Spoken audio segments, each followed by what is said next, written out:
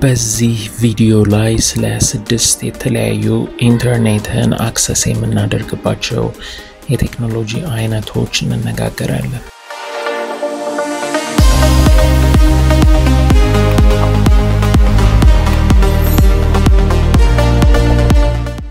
የመጀመሪያው broadband cable ነው። የኬብል ኢንተርኔት ከፍተኛ ፍጥነት ያለው ቴክኖሎጂ ሲሆን ከኬብል ሞደም ጋር በተያያዘ coaxial cable በኩል ኢንተርኔትን ያቀርብልናል። ይህ coaxial cable እኛን ከኢንተርኔት አገልግሎት አቅራቢ ድርጅት ጋር የሚያገናኝ ገመድ ነው። የ broadband cable በተለምዶ የኬብል ቴሌቪዥን አገልግሎት ለደንበኞቻቸው በሚያቀርቡ ድርጅቶች በኩል የሚቀርብ አገልግሎት ነው። በዚህም ምክንያት already የተዘረጋውን መሰረተ ልማት ይጠቀማል። ዩኤስ ውስጥ ሰፋ ያለ ጂኦግራፊያዊ አካባቢዎችን ለመሸፈን እንዲጠቅማቸው ይህንን ይጠቀማሉ። የ broadband cable internet ከፈለግን የኢንተርኔት አገልግሎት የሚያቀርብልን ድርጅት በፍጥነት የሚለያዩ የተለያዩ ፓኬጆችን ለምርጫ ያቀርብልናል። ለምሳሌ አንድ megabits per second፣ ሁለት megabits per second ወይም ሶስት እያለ ስለዚህ ለቤቶ የኬብል ኢንተርኔት ቢያዙ የኬብል ኢንተርኔት አገልግሎት አቅራቢው ሞደም ይልክሎታል ወይም በተለምዶ ከ Wi-Fi router ጥምር ጋር ሞደም ይልክሎታል። ይህ device መግቢያ በር ወይም gateway ይባላል። እናም ይህ device switch እና Wi-Fi router በአንድ ላይ የያዘ ሞደም ይሆናል። ስለዚህ ይህንን ሞደም ከእርሶ ISP ሲቀበሉ ወደ ቤቶ የሚገባውን coaxial ገመድ ከመሳሪያው ጀርባ ያያይዙታል። ኢንተርኔትን ወደ ቤቶ የሚያመጣው ሞደሙ ነው። የስዊች እና Wi-Fi router feature ኡ ደግሞ እንደ ኮምፒውተሮችን፣ ላፕቶፖችን፣ ታብሌቶችን ብዙ ባለገመድ እና ገመድ አልባ መሳሪያዎችን ከሞደሙ ጋር አገናኝተን ኢንተርኔትን መጠቀም እንድንችል ያስችሉናል። ኬብል መጥፎ ጎን አለው። እሱም እርሶና በቤቱ አካባቢ ያሉ ሌሎች ቤቶች ሁሉ በኬብል አቅራቢው ለአካባቢው የቀረበውን bandwidth በጋራ በመጋራት መጠቀማቸው ነው። ስለዚህ በአካባቢው ያለው ነዋሪ ኢንተርኔት በብዛት በሚጠቀምበት ሰዓት የ internet connection speed slow መሆን ሊያጋጥመን ይችላል ማለት ነው። ሁለተኛው DSL ወይም digital subscriber line ይባላል። DSL ሌላው ታዋቂ የ internet access ማድረጊያ ቴክኖሎጂ ሲሆን መኖሪያ ቤቶች እና ንግድ ቤቶች የ broadband internet አገልግሎትን ለማግኘት የሚጠቀሙበት ነው። DSL ሁለቱንም ድምፅ እና data በአንድ ጊዜ በስልክ መስመሮች መሸከም ይችላል። እናም ይህ ቴክኖሎጂ የስልክ መስመሮችን በመጠቀም የኢንተርኔት አገልግሎትን ለማቅረብ የሚያስችለውን DSL modem የሚባል device ይጠቀማል። DSL የስልክ መስመሮችን ስለሚጠቀም ከአሮጌውና የሚያሳምም ቀርፋፋ ፍጥነት ካለው የስልክ መስመሮችን የሚጠቀመው dial-up የሚባለው የ internet access ቴክኖሎጂ ጋር እንዳይመሳሰልብን dial-up modem የሚሰጠን ፍጥነት 56 kilobit per second ነው። DSL ከ dial-up ጋር የማይወዳደር በጣም ፈጣን የሆነ የኢንተርኔት አገልግሎትን ያቀርብልናል። DSL የምንጠቀም ከሆነ በአንድ ጊዜ ኢንተርኔትን እየተጠቀመን በስልካችን ደግሞ ማውራት ያስችለናል። dial-up ግን ሁለቱንም በአንድ ጊዜ ማድረግ አያስችለንም። DSL እንደ ኬብል ፈጣን አይደለም፣ ነገር ግን ርካሽ ነው። በ DSL ልክ እንደ ኬብል በአካባቢው የቀረበውን bandwidth በጋራ የመጋራት ግዴታ የለብንም። ምክንያቱም DSL የሚጠቀም ተጠቃሚ ሁሉም ሰው የራሱ የሆነ የግል መስመር ይኖረዋል።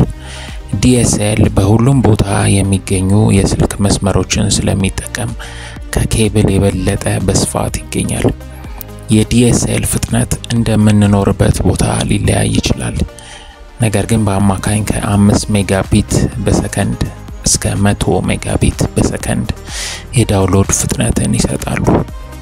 ልክ እንደ cable DSL ከኢንተርኔት አቅራቢ ድርጅቶች ስናዝ የ DSL modem እና WiFi router በጥምር የያዘ device ይልክሎታል። coaxial ገመድ ከማያያዝ ይልቅ የተለመደውን የስልክ መስመር ገመድ መሰኪያ ጃክ ተጠቅመን የ DSL modem ኡ ጀርባ ላይ በመሰካት ኢንተርኔት access ማድረግ እንችላለን። DSL ሶስት አይነት ነው። አንደኛው ADSL ወይም asymmetric digital subscriber line ይባላል። asymmetric የተባለበትን ምክንያት download የሚያደርግበት ፍጥነት upload ከሚያደርግበት ፍጥነት የተለያየና በጣም ፈጣን በመሆኑ ነው። የዚህ አይነቱ DSL በዋናነት በመኖሪያ ቤቶች ውስጥ የተለመደ ሆኖ እናገኘዋለን። ምክንያቱም የመኖሪያ ቤት ውስጥ ኢንተርኔት ተጠቃሚዎች upload ከሚያደርጉት የበለጠ download ስለሚያደርጉ ነው። እናም ADSL በጣም ርካሹ የ DSL አይነት ነው።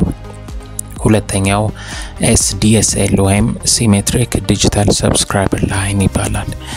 ይህ ስሙ እንደሚያመለክተው download እና upload የሚያደርግበት ፍጥነቶች አንድ አይነት ናቸው። ይህ አይነቱ DSL በተለምዶ በንግድ ስራ ቦታዎች ላይ ይዘወተራል። ሶስተኛው አይነት DSL VDSL ወይም very high bit rate digital subscriber line ይባላል። ይህ copper wire በመጠቀም የሚሰራ ፈጣን የ DSL አይነት ነው። የሚጠቀመው copper wire ስለሆነ ለአጭር ርቀቶች ብቻ የሚሰራ ነው። ለረጅም ርቀቶች የ fiber optic cable ን መጠቀም ይቻላል። VDSL ከ ADSL በግምት በሶስት እጥፍ ፈጣን ነው። ሶስተኛው ፋይበር ወይም fiber optic cable ነው። ፋይበር ዛሬ ላይ ፈጣን የሚባለውን የኢንተርኔት speed ያቀርባል። በሰከንድ እስከ 1000 megabit download እና upload የማድረግ speed ስላለው በጣም ፈጣን ነው። ፈጣን የሆነበትን ምክንያት በ fiber optic cable በኩል የሚሄድ data ለመላክ ብርሃንን ስለሚጠቀም ነው። በዓለማችን ላይ በውቅያኖስ ውስጥ ተዘርግቶ አንዱን አህጉር ከሌላው በማገናኘት የኢንተርኔት የጀርባ አጥንት ሆኖ የሚያገለግለው ይሄ የ fiber optic cable ነው። speed ኡ በጣም ፈጣን ከመሆኑ በተጨማሪም በ fiber optic cable ውስጥ የሚጓዝ signal ከ DSL ወይም ከኬብል የበለጠ ረጅም ርቀት ሊጓዝ ይችላል። ይህ የሆነበት ምክንያትም DSL እና ኬብል በ copper cable በኩል ኤሌክትሪክን በመጠቀም መረጃን ስለሚያስተላልፉ ነው። በ copper cable ውስጥ ያሉ signal ኦች በሚጓዙበት ጊዜ ደግሞ በ electromagnetic interference ሊረበሹ ይችላሉ። ይሄ ደግሞ ረጅም ርቀት የሚጓዝ signal ን ሊያዳክም ይችላል። ፋይበር ደግሞ መረጃን ለማስተላለፍ ብርሃንን ይጠቀማል። እናም ቀጭን በሆነ የመስታወት ገመድ ውስጥ ያስተላልፋል። ይህም signal ኡን ለሚረብሹ ነገሮች ተጋላጭነቱን ይቀንሰዋል ወይም ያነሰ ያደርገዋል።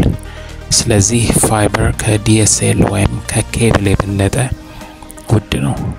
fiber ከ DSL ወይም ከኬብል ጋር ሲነጻጸር አዲስ ቴክኖሎጂ ነው። መሰረተ ልማቱ በሁሉም ቦታዎች ላይ ስላልተዘረጋ ፋይበር በብዙ ቦታዎች ላይገኝ ይችላል። አራተኛው ሳተላይት ነው። የሳተላይት ግንኙነት በጣም ውድ ነው እና እንደ ስልኮች ኬብል ወይም DSL አገልግሎት በማይኖሩባቸው አካባቢዎች ጥቅም ላይ ይውላል። ነገር ግን የእነዚህን ሌሎች አማራጮች አቅርቦት እየጨመረ በመምጣቱ ሳተላይት ብዙም ጥቅም ላይ አይውልም። አምስተኛው ሞባይል hotspot ነው።